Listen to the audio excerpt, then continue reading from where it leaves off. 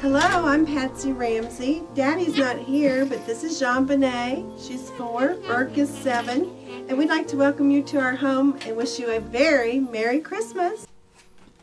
One taught me love, one taught me patience, and one taught me pain. All of them dicked over by their parents. Allegedly. Hello and welcome back to my channel. If you are new here, my name is Tom Harlock and I do not have an intro, but I do have a passion for falling into holes. The deeper, the better. And you can't talk about gaping holes without mentioning JonBenét Ramsey. Boulder, Colorado's reigning pageant queen, JonBenét Ramsey, was six years old in 1996 when she celebrated Christmas with her family. Her brother Burke, her mother Patsy, and her father John. The family loved Christmas and their home was always decorated to show home standards. And that's that's not hyperbole. Patsy would literally open her doors and do tours of the Christmas decorations to the neighbours. it's very Caucasian, but they like to go all out for the sake of memories. 1994. What'd you get, Japanese? Oh! However, Christmas in 96 would be remembered for all the wrong reasons, because on the 26th of December, Patsy Ramsey woke up and discovered her daughter missing, Hours later, she would be discovered dead. The death of JonBenét Ramsey was the birth of one of the most bizarre unsolved crimes in American history, and it would go on to perplex detectives, the world, and more importantly, me, for 20 years. I have always loved this case, but recently I have dialed up my interest to a potentially unhealthy and probably criminal amount. Today I'm going to tell you what we know happened, what could have happened, and why 20 years later this crime goes unsolved and no one's been convicted, despite the fact that somebody has confessed. This video was highly requested after the one I made on Madeleine McCann, so please let me know your theories and your thoughts down below in the comments. Also, this video is sponsored by the honestly revolutionary people over at Honey. I'm that guy who truly refuses to pay for anything full price. I love discount codes and vouchers,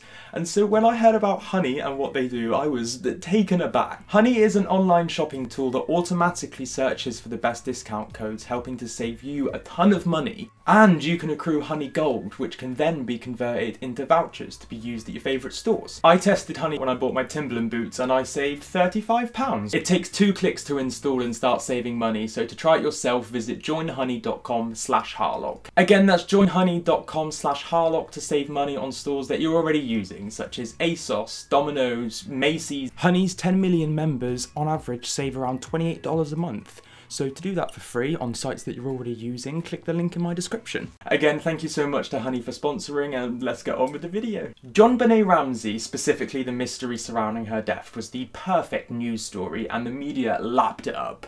And seeing as John JonBenét was a 24 times winner pageant star, there were no shortage of photos for the media to use. Born in the summer of 1990 in Atlanta, Georgia, John JonBenét's name was a portmanteau of her father, John Bennett, and her middle name was Patricia after her mother. Her brother Burke, born in 87, was three years older than JonBenét. She was six whilst he was nine. After having three children, Melinda, Beth and John Andrew with his first wife Lucinda, the couple divorced in 78. Two years later, John would marry Patsy. Patricia Paugh, born in 56, was 23 years old when she married John. After attending the West Virginia University, she graduated with a bachelor's degree in marketing and advertising. She was pretty good at it. Patsy, much like her daughter JonBenét, was no stranger to the pageant scene, having won Miss West Virginia in 1977. Three years later, her sister would win the same title. After graduating, Patsy moved to Atlanta, where she would meet John. After having her two children, the family would be complete. John was a successful businessman. In short, he would buy and sell computer parts and formed a company called Access Graphics. Access Graphics did amazingly well and John sold the company in 91 to Lockheed Martin, a huge technology company that also manufactures war weapons. A year after the sale, John's daughter Beth, aged 22 and a flight attendant, would die on the freeway in an accident after leaving an art gallery. Despite the tragedy, the sale did make the Ramseys multi-millionaires and they acted like it. They had private jets, they had boats, they also had two homes, a mansion in Boulder, Colorado, and the holiday home in Michigan on the lake. The family were in the mansion on the 23rd of December 1996. In fact, they were having a party. The 30 friends and family in attendance could easily fit inside the house. It was four stories and 15 rooms rooms. It was a very big house. The party was going as parties do until a police officer knocked on the door of 755 15th Street. A lady answered, reportedly Susan Stine. The police officer was responding to a 911 call placed from inside the address. However, they were turned away by Susan. It was an accident. Someone must have pocket dialed or I don't think you had pocket phones in the 90s, but leant against a wall. Two days later, it was time for Christmas. Christmas morning saw JonBenét, her brother Burke, father John, and mother Patsy opening Christmas presents in their pajamas. They ate their traditional Christmas breakfast of pancakes, hash browns, and bacon. Burke played with his new train set whilst JonBenét rode her new bike. It was a little bit too big for her, but her parents assumed she'd grow into it. These photos of JonBenét were the last taken of her alive. The Ramsey family spent Christmas afternoon at their neighbours and friends, the Whites, Fleet and Priscilla. Arriving at 5.30, they exchanged gifts and had something to eat, and at 8.30, the Ramseys left, stopping at neighbours on the way to deliver gift baskets. According to John and Patsy, the family arrived home at 10pm, where John JonBenét was fast asleep in the back of the car. The family were due to travel to Michigan the next day, so they had suitcases by the front door ready to leave. John passed these suitcases, carrying JonBenét asleep from the car to her bedroom on the second floor. Patsy then tied up JonBenét's hair and tucked her in, ready for bed. The rest of the family followed suit. It was Christmas Day after all, and most people who celebrate Christmas find it pretty exhausting, including Melody Stanton. Melody was asleep, as most are, at 2am when she was awoken. A child was screaming. Lasting for a couple of seconds, the scream startled Melody enough to wake up her husband sleeping next to her. They stayed awake for a while, listening out for anything. They heard nothing, other than the sound of metal clanging against concrete. Assuming a sleeping child nearby had a nightmare, the couple went back to sleep. Early morning, at around 5.30, Patsy woke up to the sound of John showering. Patsy then redressed in the clothes that she wore the previous day to the White's party, a red turtleneck and black velvet trousers. She then went downstairs to make some coffee via the spiral staircase. At 5.52 that morning, a call was placed from the Ramsey house, using the phone attached to the wall by the kitchen. Here's the recording. 911 emergency. William, police. What's going on? 5 15th Street. What's going on there, ma'am? We have a kidnapping. Hurry, please. Explain to me what's going on, okay? There, we have a, there's a note left and our daughter's gone. A note was left and your daughter is Yes. gone? How old is your daughter? Six years old. She's blind. Six years old. How long ago was this? I don't know. I just found the note. And my daughter's Does it say who took her? What? Does it say who took her? I don't know. It's, there's, a, there's a ransom note here. It's a ransom note? It says SBTC. Victory. Please. Okay, what's your name? Are you Kathy Pat? Ramsey, I'm the mother. Oh my God. Please. I'm, okay, I'm sending an officer over, okay? Please. Do you know how long she's been gone? No. I don't. Please, we just got out. Is she right here? Oh my God, please. Okay, Please, well, there's somebody. I am, honey. Please. Take a deep breath Please, away, okay? hurry, hurry, hurry. Patsy, Patsy, Patsy, Patsy. Patsy Ramsey did not make her coffee that morning. In fact, the morning of the 26th of December 1996 would be unlike any other. Whilst walking down the spiral staircase, towards the bottom, Patsy would step over three pieces of paper laid out on one of the steps. Positioning herself to be able to read, Patsy soon understood the note for what it was a ransom note. She screamed on the spot, alerting John upstairs. And let me read this note to you. Mr. Ramsey, listen carefully. We are a group of individuals that represent a small foreign faction. We respect your business, but not the country it serves. At this time, we have your daughter in our possession. She is safe and unharmed, and if you want her to see 1997, you must follow our instructions to the letter. You will withdraw $118,000 from your account. $100,000 will be in $100 bills and the remaining 18,000 in $20 bills. Make sure that you bring an adequate sized attache to the bank. When you get home, you will put the money in a brown paper bag. I will call you between 8 and 10 a.m. tomorrow to instruct you on delivery. The delivery will be exhausting, so I advise you to be rested. If we monitor you getting the money early, we might call you early to arrange an earlier delivery of the money and hence an earlier pickup of your daughter. Any deviation of my instructions will result in the immediate execution of your daughter. You will also be denied her remains for a proper burial. The two gentlemen watching over your daughter do not particularly like you, so I advise you not to provoke them. Speaking to anyone about your situation, such as the police or FBI, will result in your daughter being beheaded. If we catch you talking to a stray dog, she dies. If you alert the bank authorities, she dies. If the money is in any way marked or tampered with, she dies. You can try to deceive us, but be warned we are familiar with law enforcement's countermeasures and tactics. You stand a 99% chance of killing your daughter if you try to outsmart us. Follow our instructions, and you stand a 100% chance of getting her back. You and your family are under constant scrutiny as well as the authorities. Don't try and grow a brain, John. You are not the only fat cat around, so do not think that killing will be difficult. Don't underestimate us, John. Use that good southern common sense of yours. It's up to you now, John. Victory. SBTC. If you're thinking, that's a pretty detailed ransom note, you would be correct. 354 words to be exact. The longest ransom note recorded in American criminal history. Most notes aren't more than 50 words, but we'll talk more about the ransom note later. After checking that Burke was okay, and he was, more phone calls were made. This time to their friends, the Whites, Fleet and Priscilla, and the Fernies, Barbara and John. Seven minutes after the original 911 call, officers arrived on the scene. It was the day after Christmas, so the Boulder Police Department was spread a little bit thin. In America, there are 50 homicides a day. That's about 20,000 a year. I looked it up, and in Boulder, Colorado, there had only been a reported 21 in the last 15 years. Before JonBenét, I could only find one other unsolved homicide in Boulder, Colorado. In 87, a 22 year old man called Sid Wells was shot to death. Maybe this is why Boulder Police Department was seemingly unprepared to tackle the events of that day, and what was to come. The Boulder Police Department tapped the phones and they assigned a detective, Linda Arndt, and they made a couple shitty soft searches of the house. Nothing major, they were looking for entry and exit points. A victims advocate group also arrived to make breakfast for the Ramseys. Their job was to keep things normal, keep the flow of the house going even though their child had been robbed. I don't really understand the point of that. By the time that Burke had been taken to the White House and the $118,000 ransom had been collected, it was 8am. All that was left to do apparently was wait for the author of the ransom note to call. But by 8.30 there was still no call. By 9, then the phone hadn't rang. 9.30am, still no call.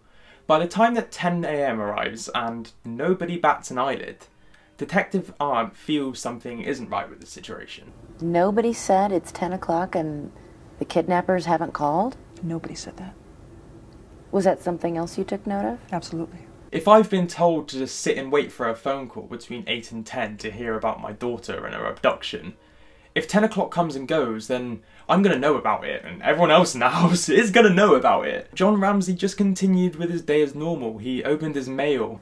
I made a note that he was looking at his mail, and then I wondered, where did your mail come from?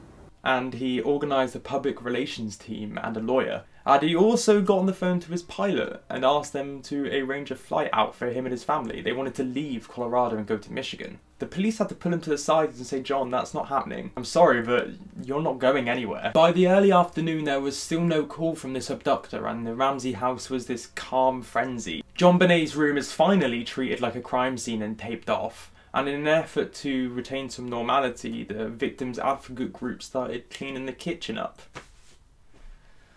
Detective Arndt is requesting backup from her superiors. She is struggling to contain the situation by herself. She hasn't much experience. Patsy was slumped in a chair and John was sat still too. The tension I suppose, simmers and is just too much for everyone to handle because Detective Linda Arndt turns around to Father John Ramsey and Fleet White and asks them to do a search of the house from top to bottom to check for anything that seems out of place. The house has been looked over, like I said, a couple of times in search of entry and exit points. There were no signs of forced entry, but there were definitely some security errors. Two windows were open to allow for Christmas lights to lead out of the house. Another, uh, one leading down to the basement, was completely smashed although it was covered with a grate. Security lights were out and the security system, the home alarm system the Ramseys had, just was not set up. Mr. Ramsey and Fleet White seemingly interpreted Detective Arndt's instructions of top to bottom as bottom to top. They started with the basement, and the Ramsey's house is split over four floors. Basement on the bottom level, the first floor is where the kitchen is, the second floor, JonBenét's bedroom and Burke's, and the third floor is purely the parents' bedroom. It's a giant attic with two stairs leading down. It doesn't seem like the easiest of buildings to navigate without prior knowledge. John led the way as they left the kitchen, down the stairs into the basement, and into the boiler room.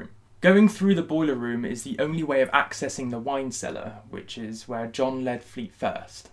This area had been checked by law enforcement, but they couldn't see everything. They didn't know where the light switch was.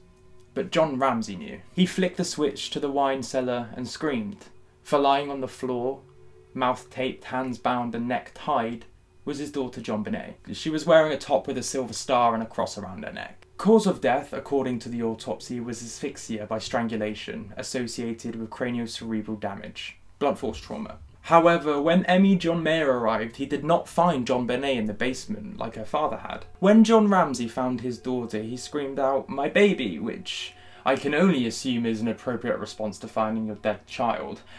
And I know I have little experience in this. However, what he did next doesn't seem so appropriate. Upon finding his abducted daughter, John removed the tape from her mouth and carried her upstairs. And according to science that I had to learn, she would have been stiff. After carrying her upstairs, he placed her down, and I'll let Linda Arndt explain what happened next. I see John Ramsey carrying JonBenét up the last three steps from the basement, and JonBenét was clearly dead. Then she's been dead for a while. I ordered him to put JonBenét down. It's reported Patsy then sprawled all over JonBenét. You do not have to be a detective to understand that all this tomfoolery has completely ruined the crime scene. Some say that was the point, but I'll discuss that in a minute. The Denver police and the FBI help, well, they at least offer to, but alas, the crime goes unsolved. JonBenét Ramsey was abducted, but not abducted, but definitely murdered in her own home. We spoke a little bit about the weird ransom note earlier, but I want to talk about that in further detail because it is one of the strangest parts of this crime. If you get rid of the ransom note, this isn't an abduction. This is this is the murder. Usually, if you're going to leave a ransom note, it's pretty short, pretty concise, doesn't give too much away, just the bare minimum detail. Okay, this is a blank piece of paper, and I'm going to write a ransom note to let you guys know exactly how long a ransom note should take and what one should look like. I have your daughter. One million pounds for her return. No police, or she dies. 16, 17. 17 words. There's also the mention of a foreign faction, which obviously rings bells as terrorism. Terrorism and FBI go hand in hand, so I'm not quite sure as to why they didn't claim jurisdiction, especially seeing as it was a kidnapping which could have gone over state lines, aka the police had nothing to do with it. It should have been the FBI. I know what you're thinking, this wasn't an abduction, this was just a straight murder. It would have sounded that simple if there wasn't the ransom note. Why would there be a ransom note left for a child that's been killed and put in a cellar? Further inspection of the ransom note would reveal that it was in fact written on a pad of paper Found inside the Ramseys' home, Patsy Ramsey's pen and piece of paper was used to make the ransom note. In fact, when they found the aforementioned notepad, several pages had been ripped out removed, and because the note was written in Sharpie, some of the pen had leaked through to a former page, so the police could clearly see that the note had not only been written in this pad, it had been drafted in this pad. A previous version of the note existed, starting Mr. and Mrs. Ramsey. The ransom note was also tested for fingerprints, however, nothing conclusive was found. As I mentioned earlier, Access Graphics in 91 was sold to Lockheed Martin. Lockheed Martin are a technology company and they produce war weapons. And they also have links to the MK Ultra program. There are so many resources online if you would like to read more about MK Ultra, but essentially they conducted experiments to make people turn into sex slaves and undercover assassins and loads of weird psychological bizarre shit people have theorised that John JonBenét Ramsey was being, for want of a better word, turned into a sex slave via a stun gun. And apparently there was a book found in John Ramsey's office depicting how exactly you can make a stun gun sex slave. More often than not, when a child is found dead in their own home, it is as a result of somebody inside that house, whether it be a family member, a friend, killing them. Another statistical probability is the likelihood of sexual abuse. I had to find out for myself whether or not JonBenét Ramsey was sexually abused. And the conclusion was, although there was no consistent sexual abuse, Something may have happened leading up to the night of her murder. The autopsy also lists the damage done by the garrote used around JonBenét's neck. When JonBenét was found, she had a garrote around her neck and her wrists were tied. A garrote, if you do not know, is a ligature made out of some type of rope or twine used to strangle somebody and control them. If you can't comprehend exactly what a garrote is, then don't worry, I couldn't either, so I've made one. This is Kelly. As if you know Kelly, she usually lives in that corner and I've brought her out for one day and one day only. I've decided that it would be a great idea to demonstrate a garrote killing on Kelly using an aux cord. The pulling and twisting of a garrote will cause the strangulation and choking. Around here was completely caved in, due to there being no distinct clarification as to whether it was a bashing or a strangulation that caused the death. People theorise that it may have been a sex game gone wrong. The house was searched for a potential murder weapon. What could possibly have caused the blunt force trauma? The only thing that could be found was a flashlight. It was a metal, heavy duty flashlight. I know this type of flashlight all too well. When I was younger, probably about Burke's age, nine years old, my little brother, he must have been about six or seven, him and I were playing around in the kitchen during a blackout. We were flashing around torches and I think we were hide and seeking. In the darkness and as an accident, I don't truly understand the weight of this flashlight and I accidentally twat my brother across the face, splitting his eye open. So I know exactly how heavy these flashlights can be and that they can split skin and they can definitely smash bone. However, the flashlight was tested for prints and there were none. The batteries as well had no fingerprints. All these little things result in a public opinion split two ways. One, it was an inside job caused by someone inside the family, or two, it was an intruder. To those of you who may want to ask, let me address very directly I did not kill my daughter, JonBenét. Another strange autopsy finding and piece of evidence that people don't quite understand was the pineapple found in JonBenét's stomach. The autopsy revealed that JonBenét Ramsey had pieces of fleshy fruit like pineapple, grapes, inside her lower digestive tract. The finding of the food means JonBenét must have had fruit hours before she was found dead, because the body didn't have time to fully process it. However, when her parents were questioned on this, I did not feed her pineapple when we returned home from the White's house. She was sound asleep. She was put in her bed and tucked in good night. As you can see, pineapple and milk, which is kind of weird, was found and shown in the crime scene photos from that day. When tested, there were only two sets of fingerprints on that bowl. One was Patsy Ramsey, second was Burke. Burke Ramsey, nine years old at the time of his sister's death, was sleeping throughout the whole ordeal. However, internet users have theorised that perhaps Burke was related to the incident. This has been fueled by interviews made by Burke when he was a child and when he was an adult. He was interviewed by the detectives at Boulder Police Station and questioned about the pineapple bowl. I'll put the clip here. What about Christmas Eve? When you were going up there, did you guys have a snack before you went to bed that night? I forget. In 2016, Burke featured on the Dr. Phil show, where he had his first public interview and ousted his anonymity as an adult. I think it's fair to say he didn't come across well in the interview. He was smiling throughout, but perhaps that was nervousness. I remember the casket was small and her eyes were closed. I think one of her eyes was a little bit like droopy or something. I thought that was weird. How did you feel seeing her? A lot of sadness. I don't think I really fully grasped. Like after this, I won't see her again. I can imagine Burke being starved of attention a little bit and growing to resent his sister. My family have had to deal with the fact that I'm the internet superstar and I can imagine that's not very easy for them. A potential timeline that has been put forward, John JonBenét is put to bed and then she goes downstairs, perhaps to make herself a snack. On going downstairs she finds Burke at the dining room table eating some pineapple and milk, which his mother had made for him. Little JonBenét potentially walking past, grabs a piece of pineapple from the bowl. Wouldn't be unlikely, that's the kind of thing that children do, and that would be why there's no fingerprints on the bowl. After eating the pineapple, and that's why it's in her stomach, Burke gets pissed off, grabs the flashlight, twats her over the back of the head, causing the trauma. JonBenét falls to the floor. Burke gets scared, goes back upstairs. He's only nine, goes underneath his duvet and just waits for this bad dream to end. Patsy then comes downstairs in the morning to make her coffee where she finds JonBenét. Alerting her husband, they do the biggest cover up of the century. Whilst Patsy is writing the ransom note, John takes JonBenét into the cellar downstairs where he ties her up.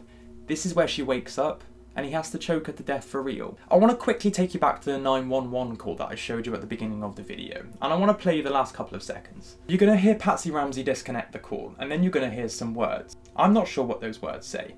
However, after audio analysis, it has been suggested that it is actually a conversation between Patsy and Burke and John Ramsey. Patsy? Patsy?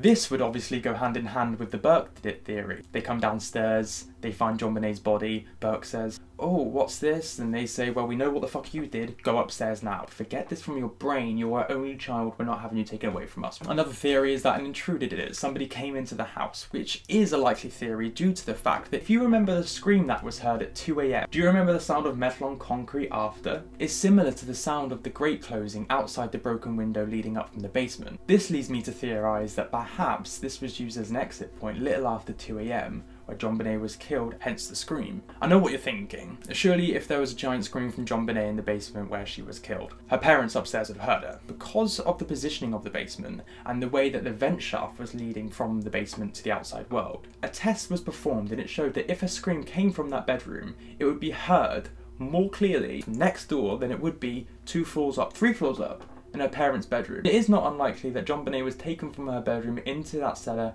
killed, scream, grate, go. However, this idea is contradicted by crime scene photos, as there are cobwebs shown going across the window. Those cobwebs should have been disturbed if somebody was using it to get in and out. For a lot of people, the idea of an intruder and the ransom note being written inside the house doesn't really add up, but to me it kind of does. If I break into somebody's house with the intention of abduction, and I am caught with a massive note saying that I'm going to take a child and then hold her hostage for loads of money, you're going to be facing a much harsher punishment than if you simply broke into the house and weren't discovered with all these objects objects. An intruder could easily broken in from 5pm, they could have stayed anywhere in the house, it was huge. John Mark Karr confessed to the killing of JonBenét Ramsey. He said he was present, he knew exactly what had happened to her, and he knew why he did it. He said he was sick in the head and he just really wanted to have sex with a bunch of kids. Ever see the Ramsey home? In Boulder, mm -hmm. of course. How do you happen to see it? I've just seen it on several occasions. It's, Physically, not just on TV or oh, picture. Yes, you, have been to the home. Of course, yes. However, DNA exonerates him and proves that his confession was completely false. John Mark Karr was not even in Boulder, Colorado at the time, however, he did have links to the area. The Ramseys were notoriously difficult to interview. They did do interviews with Barbara Walters. Why didn't you take a lie detector test?